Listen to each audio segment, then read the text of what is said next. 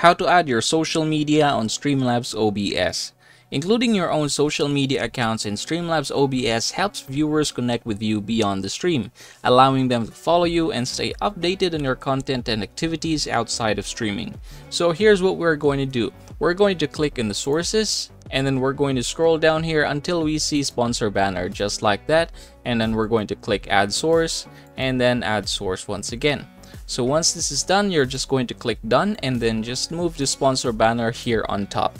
Now what we're going to do is we're going to go to this part here. It says dashboard. We're going to click dashboard home.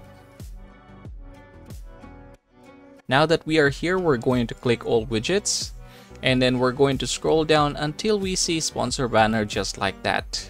Alright, and then from here, what we're going to do is we're going to scroll down and click add image. So by default, this is what we have we're going to change this one by hovering over here and then clicking this one.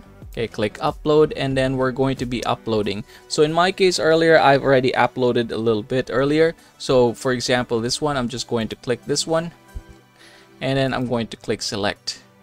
Now for the duration I'm going to change this to about 5 seconds and then I'm going to add another as well. So same thing hover over here select image upload another one and then in order to upload all you have to do is just click this one and then file specific social media pop-ups. Say for example if I'm going to add uh, Instagram so I'll just do like that and click open. And now I have Instagram here.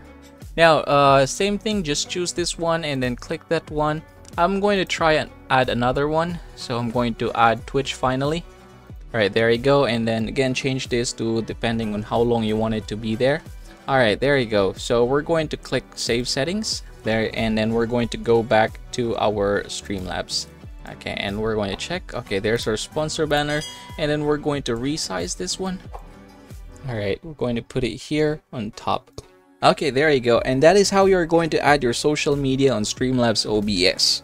And by the way, I would highly suggest to upgrade to Streamlabs Ultra to level up your streaming quality and experience.